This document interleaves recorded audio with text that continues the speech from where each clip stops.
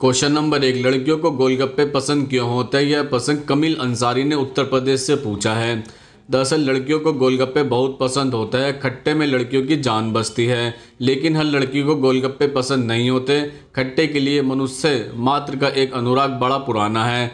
दरअसल, गोलगप्पे सहज, सुलभ, सर्वव्यापी है, इसलिए लड़कियाँ उनके इर्द गिर्द पाई जाती हैं।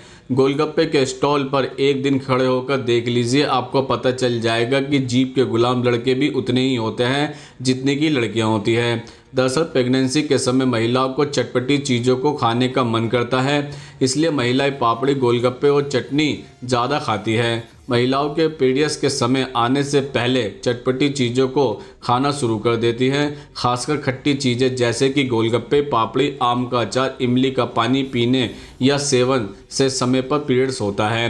क्वेश्चन नंबर दो, ताश के पत्ते बावनी क्यों होते हैं? यह प्रश्न गुरदीप ने गुजरात से पूछा है। दरअसल ताश के खेल की उत्पत्ति चीन में हुई मानी जाती है, जिसका बाद में अरब और यूरोप में प्रचार प्रसार हुआ। ऐसा कहा जाता है कि ताश के बावन पत्ते साल के बावन हफ्तों को दर्शाते हैं। इसमें चार सूट या सेट होते हैं, जो चार ऋतुओं को दर्शाते हैं।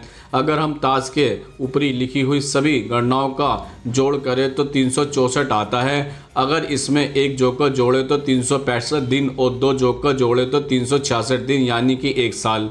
इस तरीके को ताश की रचना कैसे हुई, इसका आधार माना जाता है। क्वेश्चन नंबर तीन, हाथों की हथेली में पसीना क्यों नहीं आता है? यह प्रश्न अंजना ने लुधियाना से पूछा है। दरअसल सामान्यतः शरीर के कुछ खास अंगों में अधिक पसीना आता है, लेकिन हथेली और तलवों में बहुत ही कम लोगों को पसीना आता है। इसका कारण यह है कि हथेली और तलवों में पसीना की ग्रंथियाँ नहीं होती। हाथों की हथेलियों में पसीना आना हमें कई बीमारियों की ओर संकेत करता है। हथेलियों में ज़्यादा पसीना आना हमारे शरीर के लिए नुकसानदायक साबित हो सकता है। आपको यह भी बता दें कि गर्मियों के मौसम में शरीर से पसीना आना अच्छा है। यह हमारी त्वचा को साफ़ रखता है। लेकिन ज़रूरत से ज़्यादा पसीना आना हमारे शरीर में कई बीमारियों को पैदा कर सकता है। हथेलियों में बहुत ज़्यादा पसीना आने के कई कारण हो सकते हैं, जैसे कि लो ब्लड प्रेशर तनाव व हाइपरहाइड्रोसिन का शिकार होना। हालाँकि 90 प्रतिशत मामले हाइपरहाइड्रोसिन के ही होते हैं। यह एक तरह की सामान्य बीमारी है। इससे बचने के लिए हमें सूती वस्त्रों का इस्तेमाल करना चाहिए। हमें यह भी ध्यान रखना चाहिए कि जब हम बाहर होता है तो हमारे पैर दिन भर जूते और मोजों से पैक रहते हैं। ऐसे में पैरों से लगातार पसीना आता रहता है। इससे बचने के लिए हमें थोड़ी थोड़ी देर के लिए पैरों को जूतों से बाहर निकाल लेना चाहिए। इससे पसीना कम आएगा और शरीर में बैक्टीरिया नहीं पनप पाएँगे। क्वेश्चन नंबर चार, इंसान गाली क्यों देता है? यह प्रश्न सैफ ने मेरठ से पूछा है। दरअसल यह बात सही है कि कुछ व्यक्ति हर बात पर गाली देने की कोशिश करते हैं। यह उनके स्वाभाविक स्वभाव को दर्शाता तथा उनके मानसिक संतुलन को स्पष्ट रूप से दिखाता है। इससे यह भी पता चलता है कि उनकी आदतें किस तरह की है तथा वह अपने सारे संतुलन को भी खो देता है, जिससे उसके आने वाली पीढ़ी पर बहुत बुरा प्रभाव पड़ता है। मज़े की बात तो यह है कि इस तरह की भाषा का प्रयोग लड़कों के साथ साथ लड़कियाँ भी करती मिल जाती हैं। यह एक ऐसी मानसिकता है जो दर्शाती है कि आज के इस आधुनिक युग में लड़कियाँ अपने को लड़कों के बराबर दर्शाने के लिए हर संभव कोशिश कर रही है। उसके लिए चाहे अभद्र भाषा का प्रयोग ही क्यों न करना पड़े।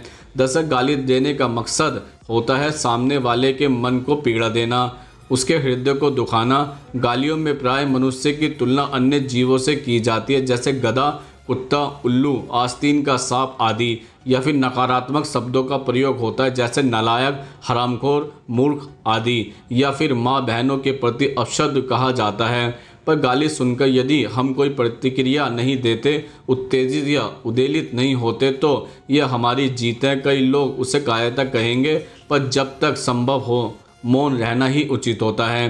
क्वेश्चन नंबर पाँच, आरती के समय ताली क्यों बजाता है? यह प्रश्न लखन ने रांची से पूछा है। दरअसल हम किसी भी मंदिर में आरती के समय सभी को ताली बजाते देखते हैं और खुद भी ताली बजाना शुरू कर देते हैं। ऐसे कई मौके होते हैं जब ताली बजाई जाती है किसी समारोह में, स्कूल में, घर में आदि स्थानों पर। जब भी कोई खुशी या उत्साह वाली बात होती है, हम उसका ताली बजाकर अभिनंदन करते हैं। हमारी हथेलियों में शरीर के अन्य अंगों की नसों के बिंदु होते हैं, जिन्हें एक्यूप्रेशर बिंदु कहते हैं। ताली बजाने से इन बिंदुओं पर ज़ोर पड़ता है और संबंधी अंगों में रक्त संचार बढ़ता है, जिससे वे बेहतर काम करने लगते हैं। एक्यूप्रेशर प्रगति में ताली बजाना सबसे ज़्यादा लाभदायक माना गया है। ताली में बाएँ हाथ की हथेली पर दाएँ हाथ की चारों उंगलियों को एक साथ तेज दबाव के साथ इस प्रकार मारा जाता है कि दवा पूरा हो और आवाज़ अच्छी आए। इस प्रकार की ताली से बाएँ हथेली के फेफड़े, लीवर पिताशय गुर्दे, छोटी आंत व बड़ी आंत तथा दाएँ हाथ की उंगली के साइनस के दवा बिंदु दबते हैं। इससे उन अंगों तक खून का प्रवाह तीव्र होने लगता है। इस तरह की ताली को जब तक बजाना चाहिए, जब तक कि हथेली लाल न हो जाए। इस प्रकार की ताली बजाने से कब्ज एसिडिटी मूत्र संक्रमण, खून की कमी व श्वास लेने में तकलीफ़ जैसे रोगों में भी लाभ पहुँचता है। क्वेश्चन नंबर छः लड़का या लड़की कैसे पैदा होता है? यह प्रश्न आनंद कुमार ने लखनऊ से पूछा है। दरअसल विज्ञान के मुताबिक लड़के या लड़की का जन्म एक्स और वाई क्रोमोसोन पर निर्भर करता है। क्रोमोसोन एक तरह का डीएनए अणु होता है। महिलाओं में एक्स क्रोमोसोन होता है, जबकि पुरुषों के अंदर एक्स और वाई दोनों ही तरह के क्रोमोसोन होते हैं। पुरुष और महिला के संभोग के बाद जब वीर्य महिला के अंदर जाता है, तब यदि महिलाओं के एक्स क्रोमोसोन से पुरुष का एक्स क्रोमोसोन मिलता है तो इस मिलन से लड़की का जन्म होता है। इसी तरह महिलाओं के एक्स क्रोमोसोन से जब पुरुष के वाई क्रोमोसोन मिलता है तो इससे लड़के का जन्म होता है। यह प्रक्रिया प्राकृतिक रूप से होती है। कोई भी, किसी भी तरीके से इसको अपने अनुसार तय नहीं कर सकता। क्वेश्चन नंबर सात, मदाना ताकत बढ़ाने वाली दवाइयों के क्या नुकसान हैं? यह प्रश्न दलीप ने राजस्थान से पूछा है। दरअसल, मदाना ताकत बढ़ाने की दवाई के दावों का बहुत बड़ा बाज़ार है। इन दावों में सच्चाई से ज़्यादा झूठ का जंजाल है। मेडिकल स्टोर पर अलग अलग नामों से मिलने वाली दवाइयों का इस्तेमाल लोग धड़क्के से कर रहे हैं। मदाना ताकत के नाम पर लोग बिना सोचे समझे खाए जा रहे हैं। इसमें हर उम्र के लोग शामिल हैं। 20 से 25 साल के युवा भी इस दावों में फंसकर दवाइयों का सेवन कर रहे हैं।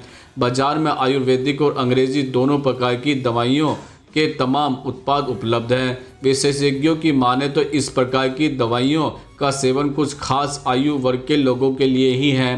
दरअसल सरदर्द, इरेक्टाइल डिस्फंक्शन दवाओं के सबसे आम दुष्परिणाम होते हैं। नाइट्रिक ऑक्साइड के बढ़े हुए स्तर से रक्त के प्रभाव में अचानक परिवर्तन सिरदर्द का कारण बनता है। यह दुष्प्रभाव इरेक्टाइल डिस्फंक्शन की दवाइयों के सभी प्रकार के साथ आम है। इरेक्टाइल डिस्फंक्शन की दवा पाचन तंत्र के दुष्परिणाम का कारण हो सकती है।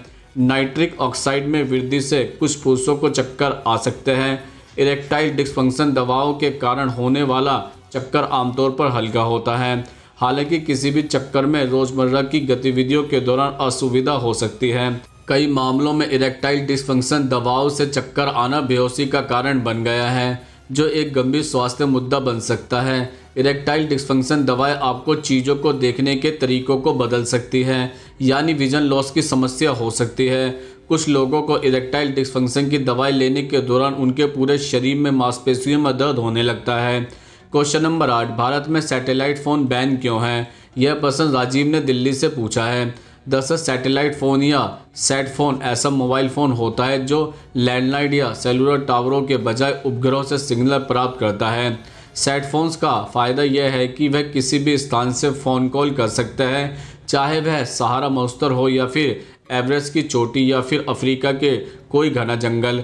मतलब यह ज़मीन, हवा या पानी में कहीं भी संकेत पकड़ सकता है। सेटफोन का नुकसान बातचीत में आने वाली अड़चन के रूप में होता है, क्योंकि सिग्नल को उपग्रह तक पहुँचने और लौटकर आने में समय लगता है। इसके अलावा सैटेलाइट के ज़रिए इस्तेमाल होने वाला खर्च भी सेलुलर फ़ोनों की अपेक्षा कहीं अधिक होता है।